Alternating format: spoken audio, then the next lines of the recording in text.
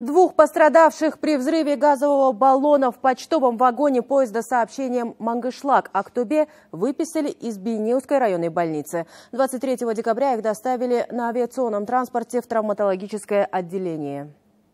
Двое других пациентов, которые сначала были госпитализированы в хирургическое отделение Бейнеевской районной больницы, позже доставлены на авиационном транспорте и госпитализированы в травматологическое отделение Мангистауской областной больницы.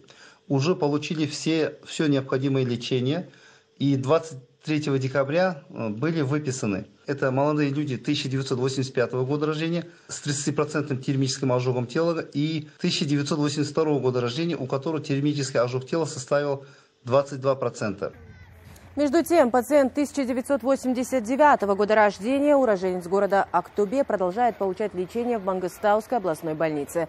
Его 11-летний сын, у которого площадь термического ожога составляет 50%, вышел из ожогового шока. Напомним, 14 декабря в Бейнеуском районе произошло возгорание в почтово-багажном вагоне поезда с сообщением Мангостау-Актубе. Всего в пассажирском составе следовали 192 пассажира. Пострадали 5 человек, один из них 42 42-летний мужчина скончался в тот же день в Центральной районной больнице.